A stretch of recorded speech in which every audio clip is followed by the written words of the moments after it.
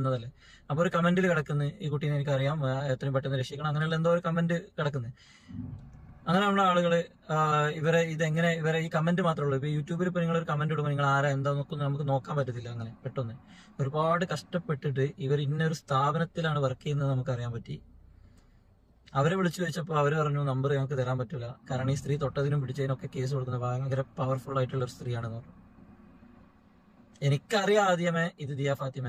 ദിയ ഫാത്തിമയുടെ കേസുമായി ബന്ധപ്പെട്ടുകൊണ്ട് ഒരു പുതിയ അപ്ഡേഷൻസ് വന്നിട്ടുണ്ടായിരുന്നു. മുമ്പ് മുൻ ദിവസം നമ്പിലൻ പറഞ്ഞ കാര്യവുമായി ബന്ധപ്പെട്ടുകൊണ്ട് മറ്റൊരു അപ്ഡേഷൻസിന്റെ ഭാഗമായിട്ടാണ് ഇന്ന് സംസാരിച്ചുകൊണ്ടിരിക്കുന്നത്. അതായത് ഈ കാരണം പലരും പലതും കമന്റ് ചെയ്തുകൊണ്ടിരിക്കുന്നുണ്ട്. അങ്ങനെ ഒരു ദിവസം ഒരു സ്ത്രീ ഒരു കമന്റ് ചെയ്യുകയാണ്. അതായത് വീഡിയോയുടെ താഴെ. ആ കമന്റിന് പിറകെയായിരുന്നു ഞങ്ങൾ പോയത്. അങ്ങനെ നമ്പിലന് അതിനെക്കുറിച്ച് വളരെ വ്യക്തമായിട്ട് നമ്മോട് സംസാരിക്കുന്നുണ്ട്. ഈ കേസുമായി ബന്ധപ്പെടുന്ന സമയത്ത് എന്റെ ഓർമ്മയിലേക്ക് വരുന്നത് രണ്ടായിരത്തി അഞ്ച് കാലഘട്ടത്തിൽ രാഹുൽ എന്ന് പറയുന്ന ഒരു കുട്ടിയുമായി ബന്ധപ്പെട്ട് ഒരു മിസ്സിങ് കേസ് ഉണ്ടായിരുന്നു. ആ കേസിന്റെ യഥാർത്ഥത്തിൽ ആ കുട്ടി വൈകുന്നേരം കളിച്ചുകൊണ്ടിരിക്കുന്ന സമയത്ത് പെട്ടെന്ന് കുട്ടി പുറത്തേക്ക് വെള്ളം കുടിക്കാൻ പോയ സമയത്ത് ആ കുട്ടി മിസ്സാവുന്ന ഒരു സാഹചര്യമായിരുന്നു ഉണ്ടായത്. ആ കേസുമായി ചുറ്റിപ്പറ്റി പോലീസ് അന്വേഷണങ്ങൾ കേരള പോലീസിന്റെ അന്വേഷണങ്ങൾ വന്ന സമയത്ത് അവിടെയൊക്കെ സംഭവിച്ചത് എന്താണെന്ന് വെച്ചാൽ ആ വീട്ടിൽ ആ കുട്ടിയുടെ അമ്മ അല്പം സൗന്ദര്യമുള്ള കുട്ടിയായതുകൊണ്ട് തന്നെ ആ അമ്മയുടെ പ്രേമവുമായി ബന്ധപ്പെട്ട് കൊണ്ടായിരുന്നു ആ കേസ് വഴിതിരിഞ്ഞു പോയതും. അത്തരത്തിൽ അതിനൊരു യഥാർത്ഥ ഇതിലേക്ക് ആ കേസിന് എത്തിപ്പെടാൻ കഴിഞ്ഞില്ല എന്നുള്ളതാണ്. ഈ ഒരു കേസ് എന്നെ സംബന്ധിച്ചിടത്തോളം തന്നെ പിന്നീട് ഈ രാഹുലിന്റെ കേസുമായി ബന്ധപ്പെട്ടുകൊണ്ട് ഏറെ അന്വേഷണങ്ങൾ നടന്നു. ക്രൈംബ്രാഞ്ച് അത് ഏറ്റെടുത്തു. കേരള പോലീസും കഴിഞ്ഞ് സി ബി ഐ വരെ എത്തി. പിന്നീട് രണ്ടായിരത്തി പതിനഞ്ചിൽ സി ബി ഐ അത് ഡിസ്ക്ലോസർ ചെയ്യുന്ന ഒരു അവസ്ഥയാണ് ഉണ്ടായത്. സി ബി ഐ ഈ കേസ് ഡിസ്ക്ലോസർ ചെയ്ത സമയത്ത് ഈ ഒരു രക്ഷിതാവ് ഈ ഒരു കാര്യത്തെക്കുറിച്ച് ഈ കുട്ടിയെ കിട്ടാത്ത ഒരു വിഷമത്തിൽ ഒരുപാട് വിഷമിച്ച് ആ പിതാവ് ആത്മഹത്യ ചെയ്യുകയുണ്ടായി. നമ്മൾ ഇന്ന് ഏറെ ടെക്നോളജി വളർന്നുകൊണ്ടിരിക്കുന്ന ഈ ഒരു സമയത്ത് രണ്ടായിരത്തി പതിനാല് നടന്ന ഒരു സംഭവമായതുകൊണ്ട് തന്നെ ഇന്നേക്ക് പത്ത് വർഷങ്ങളൊക്കെ പിന്നിടുന്ന സമയത്ത് ഏറെ ടെക്നോളജി വളർന്ന ഈ സമയത്ത് എന്തുകൊണ്ട് നമ്മുടെ അധികാരികളും കേരള പോലീസും ഏറെ സാഹചര്യ തെളിവുകൾ ഉണ്ടായിട്ടും ഇതുമായി മുന്നോട്ട് പോകുന്നില്ല ഒരു ഉണർച്ച വരുന്നില്ല എന്നാണ്? ഞാനിപ്പോൾ ഇവിടെ ചിന്തിച്ചുകൊണ്ടിരിക്കുന്നത് കാരണം ആ കേസുമായി ബന്ധപ്പെടുമ്പോൾ അങ്കമാലിയിൽ അതായത് ദിയാ ഫാത്തിമയുടെ കേസുമായി ബന്ധപ്പെടുന്ന സമയത്ത് അങ്കമാലിയിലൊക്കെ ഏറെ സംശയാസ്പദമായ തെളിവുകൾ ഉണ്ടായിരുന്നു അവിടെ ആ കുഞ്ഞിനെ കണ്ടതും. ആ ദിയാ ഫാത്തിമയുടെ വീടിന്റെ പുറകു വശത്തേക്ക് അമ്പത് മീറ്ററോളം നായ പോയിട്ട് അവിടെ പോയിട്ട് നിന്ന് ആ സ്ത്രീയുടെ വിഷയമൊക്കെ ഒന്ന് ഞാൻ പറഞ്ഞിട്ടുണ്ട്. വളരെ സംശയാസ്പദമായിട്ട്. ഇത്രയൊക്കെ വലിയ ഒരു പോലീസ് സന്നാഹവും സേനയും ഇന്ത്യയിൽ തന്നെ ഏറ്റവും വലിയ നല്ല പോലീസൊക്കെ ആയിട്ടുള്ള എന്തുകൊണ്ടാണ് ഏതെങ്കിലും ഒരു കുറച്ച് വ്യക്തികളുടെ പോലീസിൽ ചുരുങ്ങിയ സം സ്വൽപ്പിത താല്പര്യങ്ങൾക്ക് എന്തുകൊണ്ടാണ് ഇങ്ങനെയൊക്കെ പോകുന്നതെന്ന് ഞാൻ ചിന്തിച്ചു പോവുകയാണ്. അങ്ങനെ ഈ ഒരു കേസുമായി ബന്ധപ്പെടുന്ന വളരെ പ്രധാനപ്പെട്ട ഒരു അപ്ഡേഷൻ എന്ന് പറയുമ്പോൾ ജുനൈദ് നമ്പിലനെ അതിനെക്കുറിച്ച് പറയുന്നുണ്ട്. അതാ ഏതായാലും നമ്മൾ എന്താണ് ജുനൈദ് നമ്പിലിന്റെ ആ അപ്ഡേഷനെ നമുക്ക് നോക്കാം. കേൾക്കാം അപ്പോൾ അപ്പൊ ഒരു കമന്റിൽ കിടക്കുന്ന ഈ കുട്ടീനെ എനിക്കറിയാം. എത്രയും പെട്ടെന്ന് രക്ഷിക്കണം. അങ്ങനെയുള്ള എന്തോ ഒരു കമന്റ് കിടക്കുന്നത് അങ്ങനെ നമ്മുടെ ആളുകൾ ആ, ഇവരെ ഇതെങ്ങനെ ഇവരെ ഈ കമന്റ് മാത്രമേ ഉള്ളൂ. ഇപ്പൊ യൂട്യൂബിൽ ഇപ്പൊ നിങ്ങൾ ഒരു കമന്റ് ഇടുമ്പോൾ നിങ്ങൾ ആരാ എന്താ നോക്കുന്നത് നമുക്ക് നോക്കാൻ പറ്റത്തില്ല അങ്ങനെ പെട്ടെന്ന്. ഒരുപാട് കഷ്ടപ്പെട്ടിട്ട് ഇവർ ഇന്നൊരു സ്ഥാപനത്തിലാണ് വർക്ക് ചെയ്യുന്നത് നമുക്ക് അറിയാൻ പറ്റി. അവരെ വിളിച്ചു ചോദിച്ചപ്പോൾ അവർ പറഞ്ഞു നമ്പർ ഞങ്ങൾക്ക് തരാൻ പറ്റില്ല കാരണം ഈ സ്ത്രീ തൊട്ടതിനും പിടിച്ചതിനൊക്കെ കേസ് കൊടുക്കുന്ന ഭയങ്കര പവർഫുൾ ആയിട്ടുള്ള ഒരു സ്ത്രീയാണെന്ന് പറഞ്ഞു. എനിക്കറിയാം ആദ്യമേ ഇത് ദിയ ഫാത്തിമ അല്ലാന്ന്. നൂറ് ശതമാനം എനിക്കൊരു ഉറപ്പുണ്ടായിരുന്നു. നൂറല്ല ഉറപ്പുണ്ടായിരുന്നു. എനിക്ക് ദിയ ഫാത്തിമ ആകൂല എന്ന് എനിക്ക് ഉറപ്പുണ്ടായിരുന്നു. എങ്കിലും അത് മറ്റേതൊരു കുട്ടിയാണെങ്കിലും അത് രക്ഷിക്കേണ്ടത് അങ്ങനത്തെ ഒരു അവസരത്തിൽ രക്ഷിക്കേണ്ടത് നമ്മുടെ കടമയാണ്. നമ്മുടെ പോലീസിന്റെ നമ്മുടെ നമ്മുടെ ഒരു സമൂഹത്തിലെ നമ്മുടെ ഒരു സമൂഹത്തിൽ ജീവിക്കുന്ന ആളുകൾ നമ്മുടെ കടമയാണത്. അങ്ങനെ ഈ സ്ത്രീയുടെ നമ്പർ ചോദിച്ചപ്പോൾ അവർ തരാൻ വിസമ്മതിച്ചു. അപ്പൊ നമ്മളൊരു അടവ് അങ്ങോട്ട് ഇട്ട് കൊടുത്തു. നമ്മൾ പറഞ്ഞു നിങ്ങളൊരു അമ്മയല്ലേ? എന്നൊക്കെ പറഞ്ഞ് കാര്യങ്ങൾ പറഞ്ഞപ്പോൾ അവർ നമ്പർ തന്നു പിറ്റേന്ന്. അങ്ങനെ അവരെ നമ്പർ കിട്ടി. ഇവരെ വിളിച്ചപ്പോൾ സ്ത്രീയെ വിളിച്ചപ്പോൾ ഈ സ്ത്രീ പറഞ്ഞ കുറച്ച് കാര്യങ്ങൾ ഇത് ഇവർ എവിടെ വന്ന് എവിടെ ഏതോ നാട്ടിൽ നിന്ന് വന്ന് താമസിച്ചതാണ്. ലവ് മാരേജ് ആണ്. പിന്നെ ഈ കുട്ടി ദിയമോളുടെ അതേ ഷേപ്പാണ് ദിയമോൾ തന്നെയാണ് ഇത്. അങ്ങനെയാണ് എന്നുള്ള കാര്യങ്ങളൊക്കെയാണ് അവർ സംസാരിച്ചത്. അപ്പൊ ഞാൻ പറഞ്ഞു അവരോട് ഓക്കെ അങ്ങനെയാണെങ്കിൽ നമുക്ക് അടുത്തുള്ള ഒരു പോലീസ് സ്റ്റേഷനിൽ പരാതി കൊടുക്കാം. ദിയമോളൊപ്പം നമ്മൾ അന്വേഷണത്തിന് കൊടുത്ത പോലീസുകാർ ഉറങ്ങുന്ന മാതിരിയുള്ള പരാതി ആയിരിക്കുമല്ലോ അത് നമ്മൾ കൊടുക്കുമ്പോൾ അപ്പൊ അങ്ങനെ പരാതി കൊടുക്കാം. അവരെ കൊണ്ടത് എന്താണ് അതിന്റെ സത്യാവസ്ഥ അറിയാം കുട്ടികളെ മോചിപ്പിക്കാം എന്ന് പറഞ്ഞു ഞാൻ. അങ്ങനെ ഇവർ ഇങ്ങനെ പറഞ്ഞപ്പോൾ അവരെന്നോട് ഒരു കാര്യം പറഞ്ഞു. നിങ്ങൾക്ക് അറിയാത്ത കുറച്ച് കാര്യം കൂടെ ഞാൻ പറഞ്ഞു തരാമെന്ന് പറഞ്ഞപ്പോൾ ഞാൻ പറഞ്ഞു കൗതുകയോ ഒക്കെ നിങ്ങൾ പറയൂ. കാര്യങ്ങളൊക്കെ പറയൂ എന്ന് പറഞ്ഞപ്പോൾ അവർ പറഞ്ഞു അവർ അത്യാവശ്യം നാട്ടിലൊരു ഗുണ്ടാ സെറ്റപ്പ് ഉള്ള ടീമാണ്. ആ സ്ത്രീയുടെ കൂടെ നടക്കുന്ന ആളുകൾക്ക് അവർ പറഞ്ഞതാണ് ഞങ്ങളുടെ അടുത്ത് തെളിവുണ്ട് അവർ പറഞ്ഞു ആ, സ്ത്രീയുടെ കൂടെ നടക്കുന്ന ആളുടെ കയ്യിൽ എപ്പോഴും ഒരു കത്തി ഉണ്ടാവും അരയിൽ എപ്പോഴും ഒരു കത്തി ഉണ്ടാവും എന്ന് പറഞ്ഞു. പിന്നെ അതിന്റെ അടുത്തുള്ള വീട്ടിലെ ഒന്ന് രണ്ട് റിട്ടയർഡ് ആയിട്ടുള്ള ഒന്ന് രണ്ട് ആളുകളുണ്ട്. ഏറ്റവും അടുത്തുള്ള വീടുകൾ. ആ വീട്ടിലും ഈ സ്ത്രീയായിട്ട് അവർക്ക് നല്ല കണക്ഷൻ ആണെന്ന് പറഞ്ഞു. സ്വാഭാവികമായിട്ടും ഞാൻ ചിന്തിച്ചു ആ സ്ത്രീ ഒരു മോശം സ്ത്രീ ആയിരിക്കുമോ എന്ന് ഞാൻ ചിന്തിച്ചു ആദ്യം. അതിൽ ഞാൻ പറഞ്ഞു അപ്പോഴും ഞാൻ പറഞ്ഞു പോലീസിൽ നമുക്ക് ചെയ്തിട്ട് ഞങ്ങൾ ഉണ്ട് കൂടെ ഞങ്ങൾ എത്ര പേര് വേണമെങ്കിലും ഉണ്ട് അവിടെ. പക്ഷെ പോലീസ് മുന്നിൽ വെച്ചിട്ട് കാരണം ഞാൻ നല്ല പറഞ്ഞ പോലെ നമ്മളൊരു വീട്ടിലേക്ക് ചെല്ലുമ്പോൾ ഒരാളുടെ അനുവാദം ഇല്ലാതെ ചെല്ലുമ്പോൾ അവർക്ക് അത് നമ്മുടെ പല കേസുകളിലായിട്ട് പല വകുപ്പുകളിലായിട്ട് നമ്മൾ അകത്തിടാനുള്ള കേസ് കൊടുക്കാൻ പറ്റും അവർക്ക്. അപ്പൊ സ്ത്രീ പറഞ്ഞു സ്ത്രീ ആദ്യം പറഞ്ഞിട്ടുണ്ടായിരുന്നു ഈ പോലീസ് ഈ പോലീസുകാരൻ അവിടുത്തെ എസ് ഐയും ഈ സ്ത്രീയെ ബന്ധമുണ്ട് എന്നൊക്കെ പറഞ്ഞു. ഇവർ നല്ല ഹൈ എഡ്യൂക്കേറ്റഡ് ആയിട്ടുള്ള ഭയങ്കര പഠിപ്പും വിദ്യാഭ്യാസമുള്ള നല്ല ഭയങ്കര ഉയർന്ന ഇതിൽ നിൽക്കുന്ന ഒരു സ്ത്രീയാണ്. ഉയർന്ന ജോലിയാണ് ഞാൻ ഉദ്ദേശിച്ചത്. അങ്ങനെ ഞങ്ങൾ ഇങ്ങനെ ഒരു വല്ലാത്തൊരവസ്ഥ വല്ലാത്തൊരവസ്ഥയിൽ എന്ത് ചെയ്യും എന്നറിയാതെ ഞാൻ കുറെ ഇങ്ങനെ ആലോചിച്ച് ഇങ്ങനെ ഇരുന്ന് ഇരുന്ന് ഇരുന്ന് നാലു മണി വരെ ഉറങ്ങാതെ. രാവിലെ എനിക്ക് ഡ്യൂട്ടിക്ക് പോകണം നാല് മണി വരെ സത്യമായിട്ടും ഞാൻ ഉറങ്ങാതെ ഇങ്ങനെ ആലോചിച്ച് എന്ത് ചെയ്യാൻ പറ്റും എന്താണ്? ഒരു വഴി പോലും കിട്ടുന്നില്ല മനസ്സിൽ. വൈഫാണെങ്കിൽ അങ്ങനെ വിളിച്ചുകൊണ്ടിരിക്കുകയാണ് ഓൺലൈനിൽ കാണുമ്പോൾ എന്താ? എന്താ ഓൺലൈൻ അവർക്ക് തന്നെ ഭയങ്കര വിശ്വാസമാണ്. അതുകൊണ്ടായിരിക്കും ഇങ്ങനെ വിളിച്ചുകൊണ്ടിരിക്കണേ. അപ്പോൾ ഒരു നാല് മണിയാവുമ്പോൾ ഞാൻ നമുക്ക് ചെറിയൊരു ഐഡിയ കിട്ടി.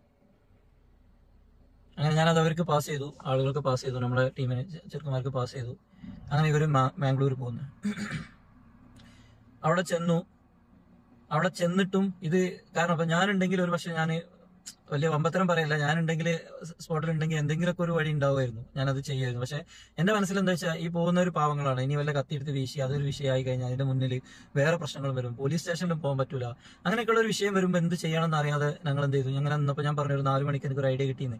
ഞാൻ ഈ ഗൂഗിൾ എർത്ത് എന്ന് പറഞ്ഞ സംഭവം എന്റെ ലാപ്പിൽ ലാപ്പിലേക്ക് ഞാൻ എന്ത് ചെയ്തു ഇതെടുത്ത് ഗൂഗിൾ എർത്ത് എടുത്തിട്ട് ഈ സ്ഥലവും കാര്യങ്ങളൊക്കെ ട്രേസ് ചെയ്തൊക്കെ ഇങ്ങനെ നോക്കിയപ്പോൾ അതിന് കുറച്ച് അപ്പുറത്തായിട്ട് ഒരു മുസ്ലിം പള്ളിയുണ്ട്. ഞാൻ നോക്കുമ്പോൾ അത് അത്യാവശ്യം വലിപ്പമുള്ള ഒരു പള്ളിയാണ്. എന്തായാലും അവിടെ ഒരു ഖാദി ഉണ്ടാവും കാലി എന്ന് പറഞ്ഞാൽ അവിടുത്തെ ഒരു മുതിർന്ന ഉസ്താദ് ഉണ്ടാവും അവിടെ. അപ്പൊ ഞാൻ ഇവരോട് പറഞ്ഞു അതാണ് നമ്മൾ നമുക്ക് കിട്ടിയ ഒരു ഐഡിയ എന്ന് പറഞ്ഞത് അപ്പൊ ഇവരോട് പറഞ്ഞു അവരെ പോയിട്ട് അവിടെ പോയിട്ട് നിസ്കരിക്കുക എന്നിട്ട് അവരോട് ആ, അവിടുത്തെ കാര്യങ്ങളൊക്കെ ഒന്ന് വീക്ഷിക്കുക എന്നതിന് ശേഷം അവർ ഓക്കെ ആണെന്ന് തോന്നിയാൽ മെസ്സേജ് ഇടാൻ പറഞ്ഞു. അങ്ങനെ ഞങ്ങൾ അന്ന് ദിവസം മുഴുവൻ അതിന്റെ പിന്നിലായിരുന്നു. അങ്ങനെ അവരെ നമുക്ക് മെസ്സേജ് മെസ്സേജ് ഇട്ടു. കുഴപ്പമില്ല നല്ല അന്തരീക്ഷമാണ് നല്ല ആളുകളാന്നൊക്കെ പറഞ്ഞപ്പോൾ ഞാൻ പറഞ്ഞു അയാളോട് തുറന്നു പറയും കാര്യങ്ങൾ എന്ന് പറഞ്ഞു. അങ്ങനെ അയാളോട് തുറന്നു പറഞ്ഞപ്പോൾ അയാൾ പറഞ്ഞു ആ പള്ളി കമ്മിറ്റിയിലുള്ള അവിടുത്തെ പ്രസിഡന്റ് നല്ലൊരു മനുഷ്യനാണ് പറഞ്ഞു. എന്റെ പേരൊന്നും ഞാൻ പറയുന്നില്ല ആരെന്തോ ആവട്ടെ അങ്ങനെ കാര്യങ്ങളൊക്കെ പറഞ്ഞു. അവരിത് സംസാരിച്ചു. അപ്പൊ അവർക്ക് അറിയുന്ന ആളുകളാണ് ഇതൊക്കെ. അപ്പൊ അവരോട് എങ്ങനെ തിരിച്ചു മറിച്ചും കാര്യങ്ങൾ അവരന്വേഷിച്ചോ അങ്ങനെ ഇവർ നമ്മളെയും കൂട്ടിയിട്ട് ആ വീടിന് നേരെ തൊട്ടപ്പുറത്തുള്ള വേറൊരു മുസ്ലിം വീട് തന്നെ ഉള്ളത് അവിടെ. ആ വീട്ടിലേക്ക് കൊണ്ടുപോയി. ഒരു മുസ്ലിം വീട്ടിലേക്ക്. അവർ വീട്ടിലേക്ക് കൊണ്ടുപോയി. അവിടുത്തെ അമ്മമാരോടും കാര്യങ്ങളൊക്കെ ചോദിച്ചൊക്കെ അറിഞ്ഞപ്പോ അവർക്ക് ഒരു കുഴപ്പമില്ല. അവർ നല്ല ഫാമിലിയാണ് അവർ വന്ന് താമസിച്ചത് ഓക്കെയാണ്. പ്രണയിച്ചതാണ് അവർ ഓക്കെയാണ്. അവർ ഹിന്ദു ആയിരുന്നു തോന്നുന്നു. അതിന് ക്രിസ്ത്യൻ ആയതാണ് അവർ. ഓക്കെ? മറ്റുള്ള കുഴപ്പങ്ങളോ കാര്യങ്ങളോ ഒന്നുമില്ല നാട്ടിലെ നല്ലൊരു സ്ത്രീയാണ്. അപ്പൊ ഈ സ്ത്രീ പറഞ്ഞിരുന്നു ആ വീട്ടിൽ നിന്ന് എപ്പോഴും നിലവിളി കേൾക്കുന്നത്. അതാണ് ഞാൻ ഇത്രയും ഇതിലൊരു ഇൻട്രസ്റ്റ് എടുക്കാൻ. കാരണം ആ വീട്ടിൽ നിന്ന് നിലവിളി കേൾക്കുന്നുണ്ട്. ഈ കുഞ്ഞിനെ അവർ നന്നായി ഉപദ്രവിക്കുന്നു എന്ന് പറഞ്ഞപ്പോഴാണ് അത് എത്ര പെട്ടെന്ന് ആക്ഷൻ എടുക്കാൻ പറഞ്ഞത്. പിന്നെ ഞങ്ങൾ ഒറ്റയ്ക്ക് പോവാണെങ്കിലും എന്റെ നല്ല സുഹൃത്തുക്കളായ കുറച്ച് പോലീസുകാരോട് ഞാൻ നിയമ ഉപദേശം ചോദിച്ചിരുന്നു. അവരുണ്ടായിരുന്നു. അവരെന്താ വേണ്ട കാര്യങ്ങളൊക്കെ ചെയ്ത് ചെയ്തു തന്നിട്ടുണ്ട്. അങ്ങനെ ചെന്ന് കഴിഞ്ഞപ്പോൾ ഇവർ വേറെ പ്രശ്നങ്ങളോ കാര്യങ്ങളോ ഒന്നുമില്ല അടുത്തുള്ള വീടുകളൊക്കെ അന്വേഷിച്ചപ്പോൾ രാത്രിയായിട്ടുണ്ട് കേട്ടോ സമയം. അന്വേഷിച്ചപ്പോൾ ഒരു കുഴപ്പമോ കാര്യങ്ങളോ അവർക്കൊന്നുമില്ല. ആ സ്ത്രീക്ക് ആ കുഞ്ഞു പറഞ്ഞ ജീവനാണ് അവരെ മക്കളാണെന്ന് പറയുന്നത്. അപ്പൊ ഞാൻ അതിനു മുമ്പ് അന്വേഷിച്ചിരുന്നു അവരെ മക്കളാണെങ്കിൽ അതായത് ഇതിലേക്ക് ഇറങ്ങി ചെല്ലുന്നതിന് മുമ്പ് നമ്മൾ അവരെ മക്കളാണെങ്കിൽ ഏകദേശം എട്ട് പത്ത് വയസ്സുള്ള കുട്ടികളാണെങ്കിൽ എന്തായാലും അവരെ സ്കൂളിൽ ചേർത്തിട്ടുണ്ടാവും അത് ഞാൻ ആദ്യം അന്വേഷിച്ചിരുന്നു ആ നാട്ടിൽ. അപ്പൊ അവർ ഒരു സ്ഥലത്ത് ചേർത്തിട്ട് അവിടുന്ന് വെട്ടി മാറ്റി അപ്പൊ പിന്നെ എന്തായാലും സർട്ടിഫിക്കറ്റ് കാര്യങ്ങളൊക്കെ ഓക്കെ ആയിരിക്കും എന്ന് വിചാരിച്ചു. അപ്പൊ ഇതും കൂടെ കേട്ടപ്പോ എനിക്ക് എന്തോ ഒരു വല്ലാത്തൊരു അത്ഭുതം തോന്നി. എന്തിനാണ് ആ സ്ത്രീ ഇങ്ങനെ നമ്മോട് കള്ളം പറഞ്ഞത്. അവരെ കുറിച്ച് നോക്കും ഞാൻ പറഞ്ഞു നന്നായി പഠിച്ച നല്ല വിദ്യാഭ്യാസമുള്ള നല്ല ഉയർന്ന ജോലി ചെയ്യുന്ന അത്യാവശ്യം ശമ്പളം ഭയങ്കര ബാക്ക്ഗ്രൗണ്ട് ഉള്ള ക്യാഷും കാര്യങ്ങളൊക്കെ ഉള്ള ഒരു സ്ത്രീയാണത്.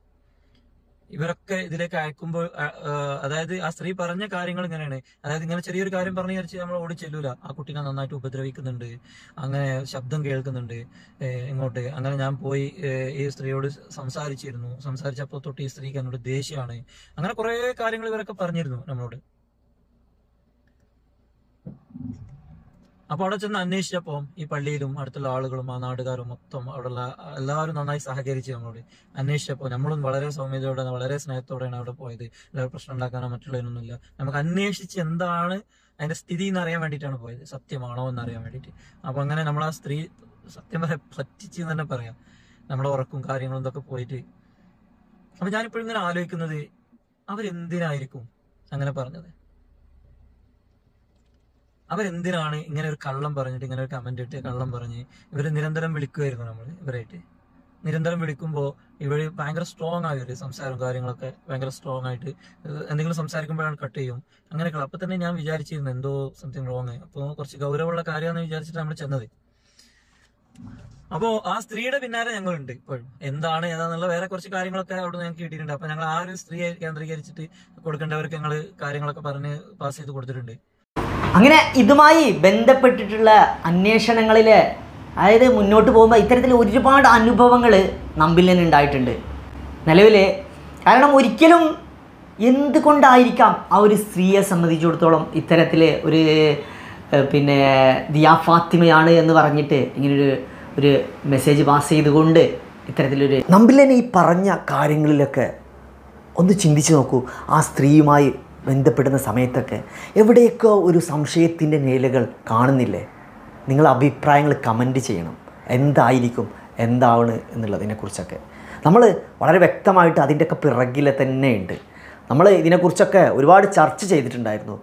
നമ്പില്ലനും ഞങ്ങളൊടുങ്ങുന്ന ടീം ഇതെല്ലാം ചർച്ച ചെയ്തിട്ടുണ്ടായിരുന്നു.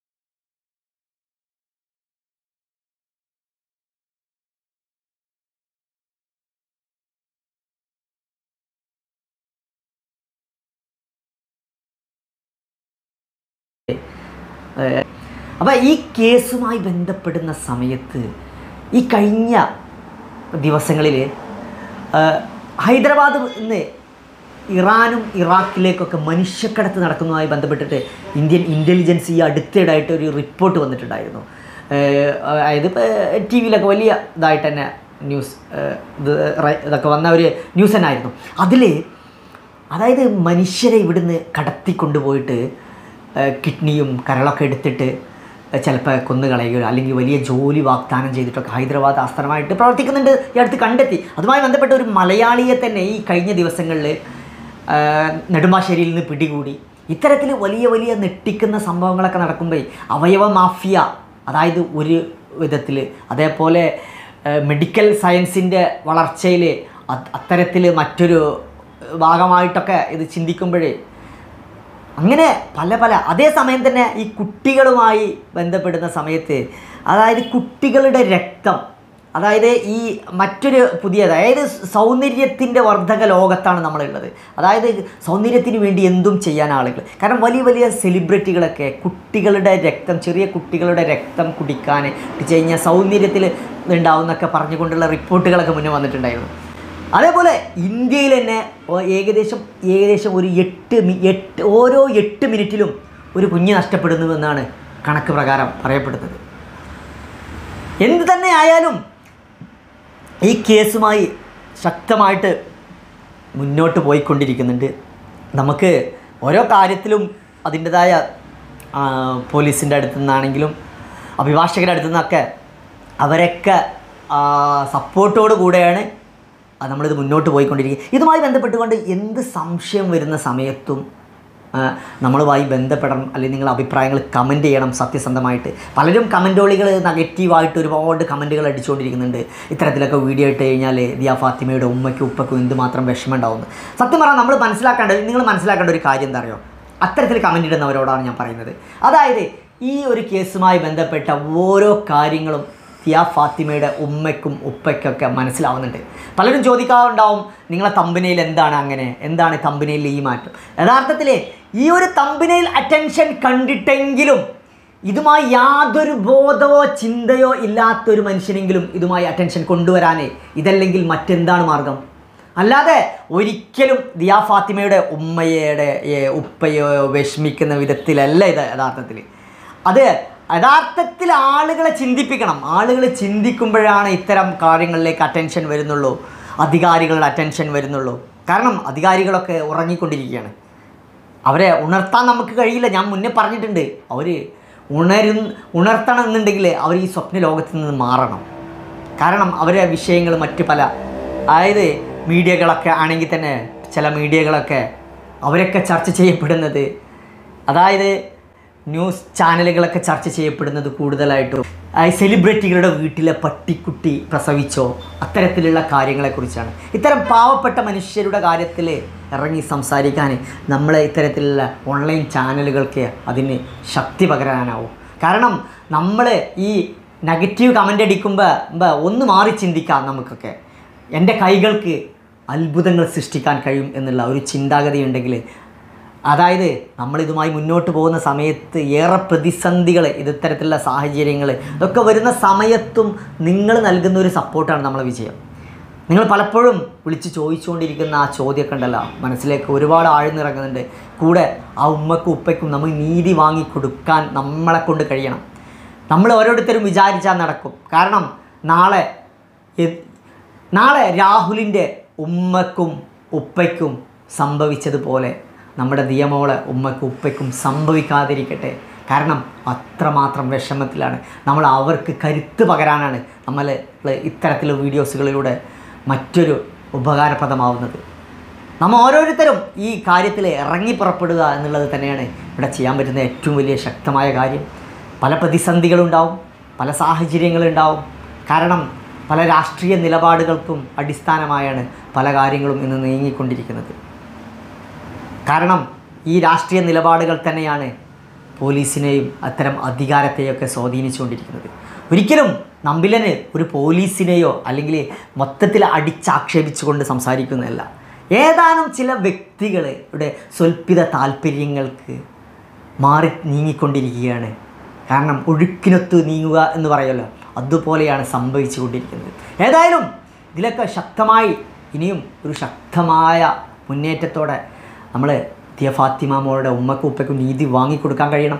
ഒരായിരം ദിയ ഫാത്തിമ മോൾ ഇനിയും നഷ്ടപ്പെടരുത്.